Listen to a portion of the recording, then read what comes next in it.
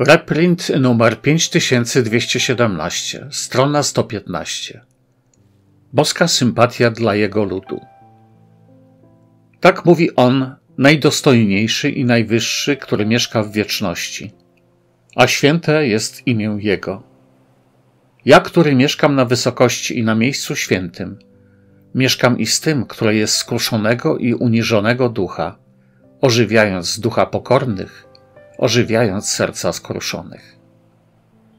Księga Izajasza, rozdział 57, werset 15. Jehowa jest tym najdostojniejszym i najwyższym Bogiem mieszkającym w wieczności. Zanim góry i pagórki stanęły, zanim pierworodny Jego był stworzony, On był Bogiem. Mojżeszowi przedstawił się w gorącym krzaku w taki sposób: Będę, który będę. Według lepszego tłumaczenia słowa te brzmią: Jam jest, którym jest. Bóg nasz jest nader wielki i mądry. Pismo Święte mówi nam, że jest On także bardzo współczujący. Jest Bogiem miłosierdzia i miłości. Rozdział, z którego czerpiemy zacytowany tekst, informuje nas, że gdyby Bóg miał walczyć z ludzkością, to wynikiem tej walki byłoby zupełne zmiecenie ludzi z oblicza ziemi. Bóg jednak wie i pamięta, żeśmy prochem i ma litość nad nami. Pod tym względem różni się on od bogów pogańskich, którzy są uosobieniem srogości i mściwości nad tymi, co znajdują się pod ich władzą. Pomimo swej wielkości i dostojności, Bóg szczególnie sympatyzuje z tymi, co są uniżonego ducha i skroszonego serca, którzy rozumieją swoją niedoskonałość, lecz pragną być w harmonii z Bogiem i żyć w świątobliwości. Takim jest On zawsze bliski, aby ożywić ducha pokornych i dodać im mocy. On nie zdepcze ich w prochu, jak to wielu potentatów ziemskich czyniło swoim poddanym, ale wesprze ich i ożywi serca skruszonych. Tacy poznają, że Bóg jest Bogiem współczucia, litości i miłości i że sprawia mu przyjemność ożywianie ich serc i przyprowadzanie ponownie do społeczności ze sobą, jeżeli tylko pozwolą mu się prowadzić. Niezadowolenie z siebie jest stanem korzystnym. Jest różnica pomiędzy sercem złamanym a skruszonym. Serce jest złamane wtedy, gdy przypełnione jest utrapieniem i smutkiem, zaś skruszone, gdy wypełnia je cichy, lecz głęboki i ustawiczny smutek z powodu uczynków przeciwnych sprawiedliwości. Złamana wola nie oznacza tego samego, co złamane serce. Są ludzie, których wola jest złamana, a jednak woli Bożej wcale nie są poddani. Pokutować to znaczy poddać się w zupełności pod wolę Bożą, co oznacza także odmianę umysłu w stosunku do grzechu. Taki stan pokory i zniechęcenia okaże się bardzo korzystny, jeżeli człowiek będzie szukał pomocy Bożej, podda się Bogu i zechce czynić Jego wolę. Taki na pewno otrzyma błogosławieństwo Boże, gdyż Bóg jest bardzo blisko tych, którzy mają złamane serca. Droga zupełnego poświęcenia jest bardzo blisko nich. Jeżeli ci, co są skroszonego serca, będą poddani i posłuszni Bogu, to On wywiedzie ich z ucisków i wprowadzi do przestrzeni duchowych, jak to psalmista Dawid określa. Wyprowadził mnie na szeroką przestrzeń, wyratował mnie, gdyż mię umiłował. To jednak nie znaczy, że Bóg wyprowadzi ich z kłopotów, ale że udzieli im pokoju i odpocznienia. A to jest lepsze niż pieniądze.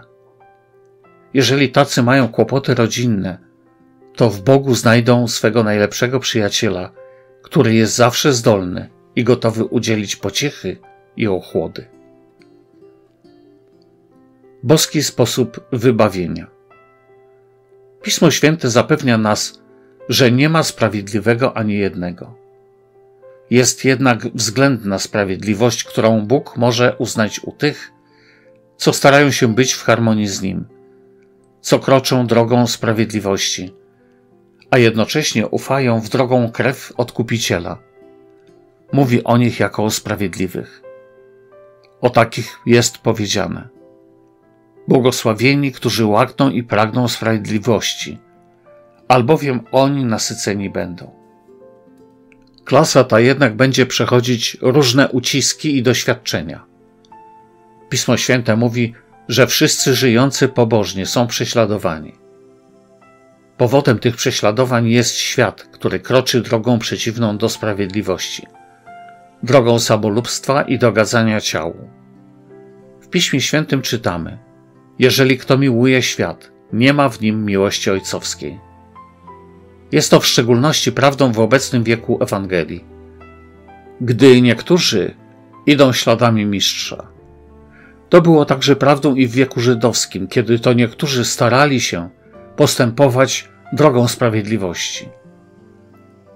Bóg wybawiał takich z ucisków nie w tym znaczeniu, że zasłaniał ich od doświadczeń, ale w tym, że posilał ich, aby doświadczenia nie mogły ich pokonać. Święci patriarchowie oceniali udzielaną im łaskę Bożą i z radością ponosili utratę doczesnych dóbr, byle tylko nadal trwać w tej łasce, a w przyszłości otrzymać większe błogosławieństwo. Bóg wybawiał ich z trudności w ten sposób, że nie dopuszczał, aby ponoszone doświadczenia ich przemogły. To samo działo się z Jezusem i tak samo dzieje się z Jego Kościołem. Tych, którzy stanowią Kościół, Bóg wybawia z doświadczeń i ucisków w ten sposób, że nie dopuszcza, aby ogarnęło ich duchowe przygnębienie, tak jak innych. Jeżeli ufamy Bogu, to On także podtrzyma nas i wzmocni w doświadczeniach, a ewentualnie uwolni całkowicie, dając dział w pierwszym zmartwychwstaniu. Ci, co w obecnym wieku Ewangelii bywają przyjęci do rodziny Bożej jako synowie Boży, są w szczególności osaczani przez różne doświadczenia i trudności. Choć przytrafiają się im potknięcia i upadki, to jednak nie ogarnia ich pragnienie powrotu do grzechu, dopóki serca ich znajdują się we właściwym stanie. Oni będą się czuć tak, jak apostoł Piotr, który podczas gdy inni się gorszyli, rzekł: Panie, do kogóż pójdziemy? Ty masz słowa żywota wiecznego. Ludzie prawdziwie Boży nie pragną iść do nikogo więcej, jak tylko do Niego. Jeżeli się potkną, natychmiast się podnoszą i udają się do źródła łaski i miłosierdzia z prośbą o przebaczenie i nadal bierzą za Panem. Przez takie potykanie się poznają swoje słabości przeciwko którym później się zabezpieczają. Stają się coraz mocniejszymi w Panu i w sile mocy Jego. Człowiek sprawiedliwy nie zanurzy się w grzechu. Najgorsze, co może go spotkać, to potknięcie się. Wiele jest powodów do potknięcia się, lecz dopóki serce znajduje się we właściwym stanie, człowiek będzie się podnosił. Albowiem Bóg pokaże mu jego omyłkę i wskaże sposób podniesienia się. Jeżeli miłuje sprawiedliwość, to będzie się starał czynić rzeczy słuszne, sprawiedliwe i mające pańskie uznanie, choćby się nawet potknął wiele razy. Dowód łaski u Boga. Wiadomo, że ludzie są niedoskonali z powodu upadku. Powinniśmy więc być pokorni i odczuwać naszą nicość i upadły stan. Należy być skruszonego serca i stale sprzeciwiać się grzechowi, a zarazem wiedzieć, że grzech jest największą zarazą trapiącą ludzkość i że Bóg nie może być w harmonii z nikim innym, jak tylko z tym, który jest sprawiedliwy i święty. Przeto wszyscy, którzy chcą być w społeczności z Bogiem, muszą pokutować za swoje uchybienia i muszą uznawać Jego dostojne reguły, Jego święte zasady. Bóg ze swej strony zapewnia ich, że otrzymają Jego sympatię i pomoc.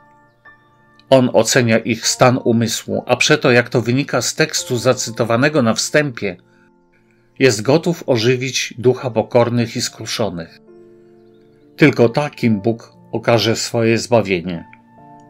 Innym zaś tego nie uczyni.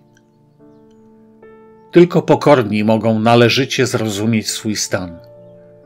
Bóg nie tylko ożywia ich ducha, Bóg także przyjmuje ich i podnosi jako swych synów, przywracając im wszystkie połączone z tym błogosławieństwa.